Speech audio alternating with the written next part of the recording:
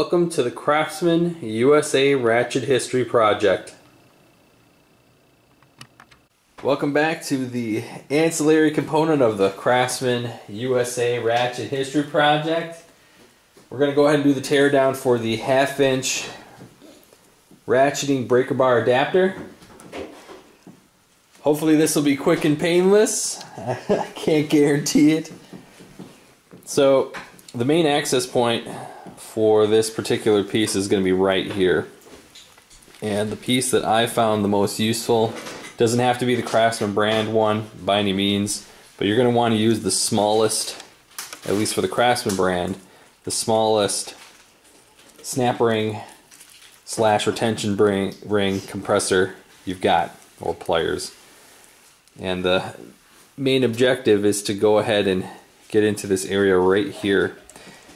It may or may not be difficult depending upon what tool you use. You're not going to be able to get away with using any appreciably sized pair of pliers, whether they're straight or bent nose, because this access point is just too small. If you have a really small pair of pliers, then, then maybe, but so what we're going to go ahead and do is we're going to get in here like so. Oh, I've had mixed mixed success with this.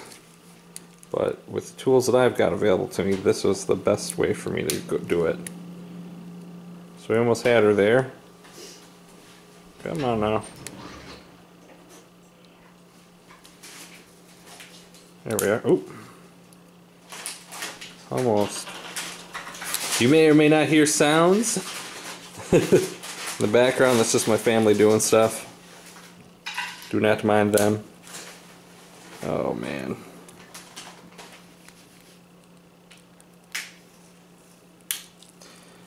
Okay, round 10.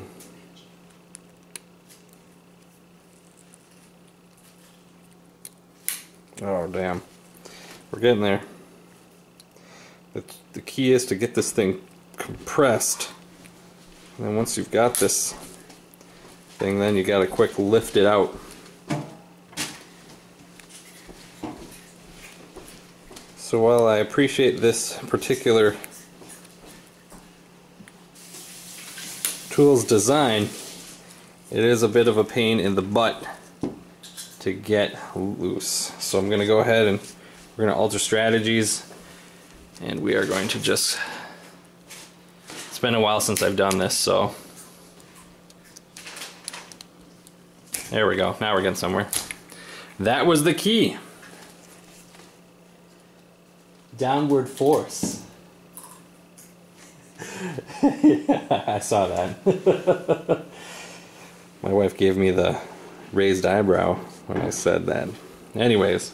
Let's go ahead and zoom in a little bit. It's a little dark in here. See if we can't get a little bit more light. There we are. That helped a little bit. Let's grab one of our picks, use it as a probe. So if you compare this situation with the roundhead fine tooth, you're going to find some stark similarities. We've got a 45 tooth gear and yeah, we've got some grease lubricant down there, but imagine basically this round gear attached to a handle, and it's the same exact idea. It's just encompassed in a, in a different way. This would essentially be the drive head of the round head fine tooth ratchet. So this is the father of that particular ratchet. So we've got our 45 teeth. We've got some depth for the rest of the housing as well as down here. And we've also got the space where the retention ring goes. Now if we examine, we'll zoom out a little bit. The upper portion, the business end, go ahead and get the retention clip out of the way. Come on now. If I remember correctly, going backwards is almost just as fun as getting to this point. Hooray! There we go. So here, if we pull down on this little directional ring, that should pop right off, as well as the bearing. Thankfully it didn't go flying in some weird direction.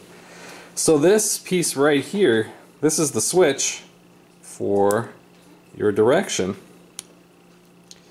And this only has, compared to the roundhead fine tooth, which has a three tooth engagement, as you can see, we'll zoom in a little bit. This one just has two. So its action isn't as refined. You got one, two points of engagement right there. Same on the other side. And it's missing one of the dual pawls as well. So essentially, the way this is maintained and functions is the exact same as the roundhead fine tooth, minus the extra teeth right here and the other other corresponding pawl. So what you do is you can remove this little stud to get access to your your pawl right here and it's a part of this drive shaft I don't think we're gonna get too great of a view of it because I like hyper lubed everything this one was a, a bit of a bear to deal with in terms of cleaning it because it had not been cleaned in 50 some odd years. So here's where the, the spring and the bearing are seated. Let's go ahead and take a look at that selector ring. So here we have the, the selector ring. What happens is that little stud sits right in here. Come on camera, you gonna focus or what?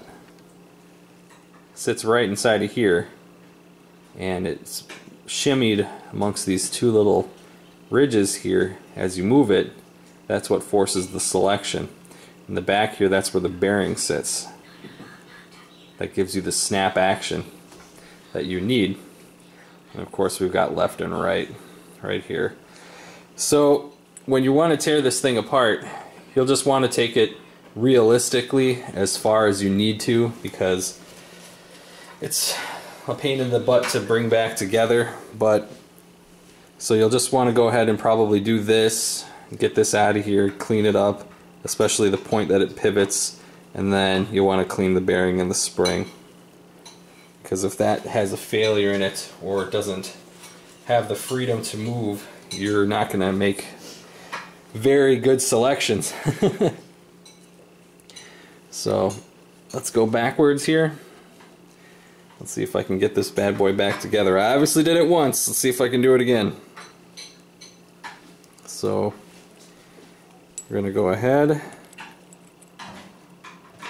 And I believe the way that I did it the first time was as I used a pick or something push down this bearing and I launched the bearing into outer space. And I would slide the the ring over position.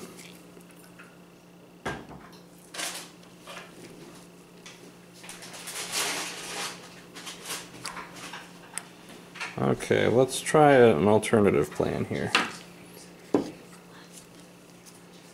Alright. We'll try the tip of this. The tip of this guy right here.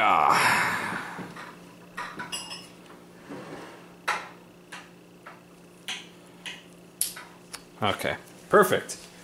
So far so good. We still have our ratcheting action. What you want to do with, as with the roundhead fine tooth is you want to try and get this pawl into approximately a neutral position so that when you put this thing together there isn't anything that's gonna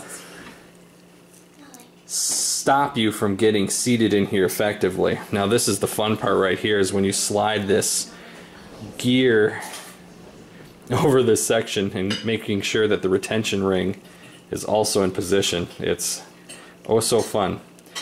I mean, it's a great. I love this design. I mean, it's it's really cool. You know, it offers. It's a it's a self-contained unit. You don't have to worry about snapping your selector off or anything like that. But it does require a little bit more of a commitment when it comes to getting things put back together. So let's see.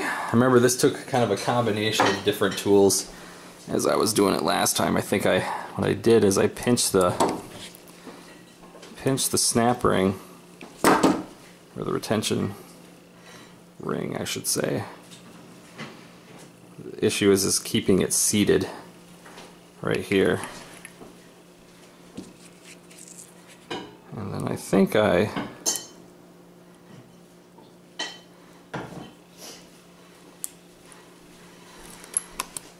Wow, nailed it. I remember the first time I did this, it took me like 25 minutes. I'm like, oh my god! So that's how you do it. So what you'll probably want to do to maximize your access is come in with your small snap ring slash retention ring pliers, whatever brand you want, compress the retention ring, pull out, you want to do it push down, get your stuff out, do your maintenance, and grab probably what, what I just used was a bent nose pliers here, just so you can compress it in, slide it in, and you let it go. Right at the, the key moment. It didn't seem like I really had to time that very much to be effective, but you get the idea. So this piece is the Craftsman half inch drive ratcheting breaker bar adapter. I hope that if you've got one of these, you want to do some maintenance on it, it'll help you out.